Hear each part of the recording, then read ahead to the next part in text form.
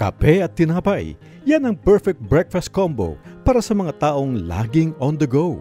Pero imbis na kainin ni Mark Noel Daras ang kape at tinapay, ginagawa niya itong isang magandang obra.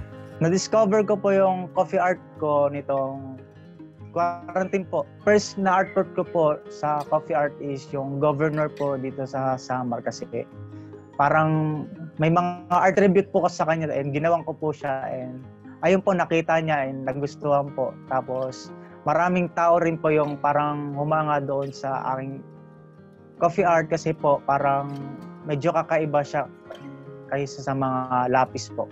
Sunod po is yung bread art po.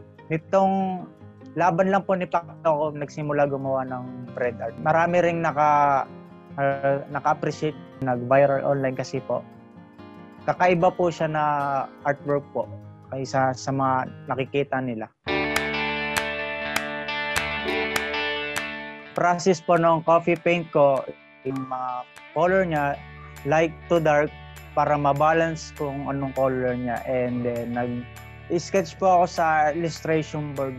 Parang nagpe-paint ka lang din po pag sa coffee po.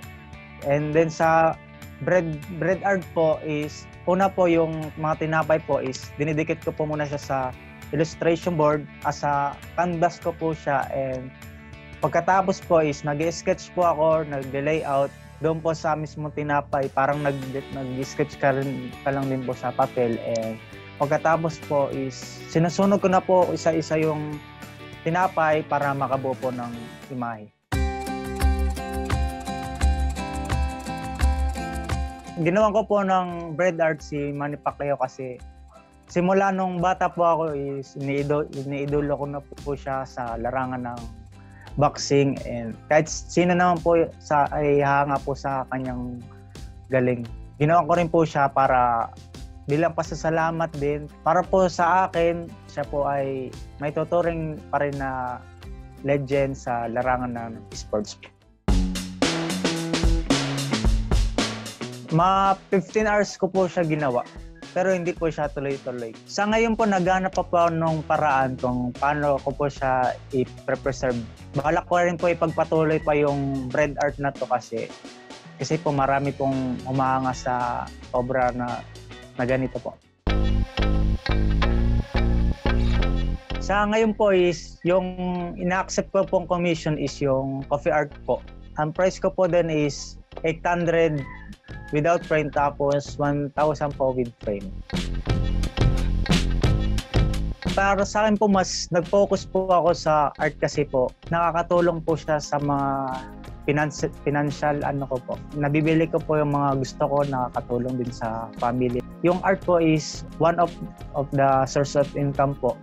At may young age po, nakaka-income na rin po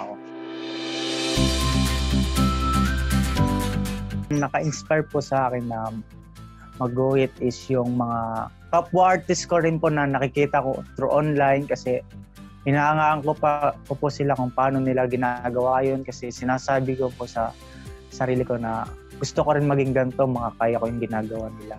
Ina- ina-apply ko siya sa sarili ko na kaya ko to. Nagmo-motivate din po sa akin yung mga tao na umahanga tapos nakaka-appreciate po ng aking mga obras.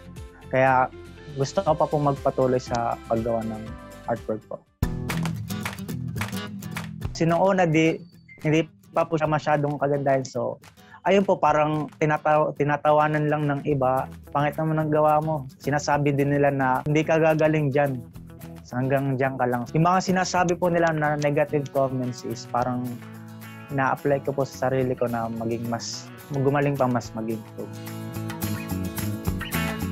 gusto ko rin po ma ituloy-tuloy maka magturo sa mga kabataan like mga workshop po. Soon po, gusto ko po rin po magka-art exhibit po.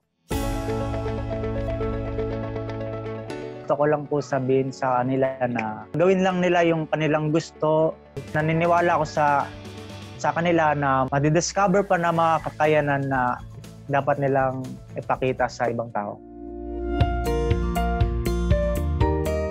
Ayun po sa lahat po ng nanonood, kung gusto niyo pong magpagawa or makita ang aking mga artwork, hanapin niyo lang po ang aking pangalan sa Facebook, Mark Noel Daras and sa Instagram po Mark Noel Daras. Doon niyo po makikita ang aking mga iba't ibang artwork. Sana magustuhan niyo aking magawa. It's never too late to learn something new, mga kapinoy.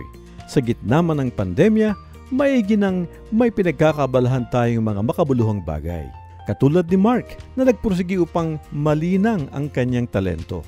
Mark Noel Daras, coffee and bread artist, madiskarte, basipag, matyaga, malikhain. Ito ang Asenso Ka Pinoy